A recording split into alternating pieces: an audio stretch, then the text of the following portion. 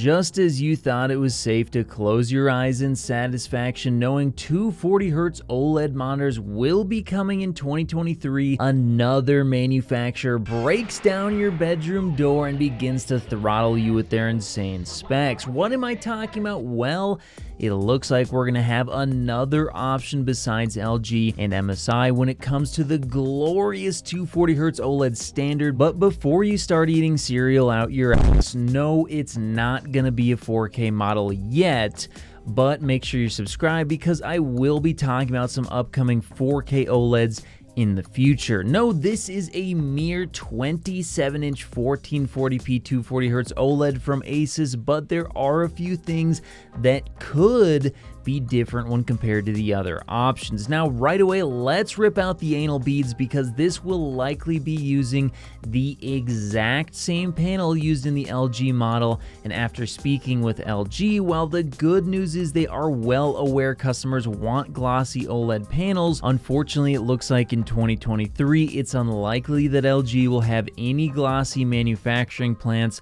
up and running. So yes, I know, I know you're vomiting uncontrollably over the thought of having to subject your eyes to such a hideous and debilitating garbage film that will scatter an atrocious light all over the screen, destroying image clarity and vibrancy, but the good news is you won't hear about this sort of inside baseball from any other channel, so aren't you glad I can give it to you gently? Anyway, with all that out of the way, it could still be a good monitor for many depending on how aggressive the finish is, and not only that, but on top of it being among the fastest displays ever created, it also could maybe be the brightest 27 inch OLED, as HD TV Test pointed out that it might include a heatsink. If so, we could be talking about a panel using LG's newest EX OLED technology that might be capable of up to 200 nits full screen and somewhere between 800 and 1000 nits for its peak brightness,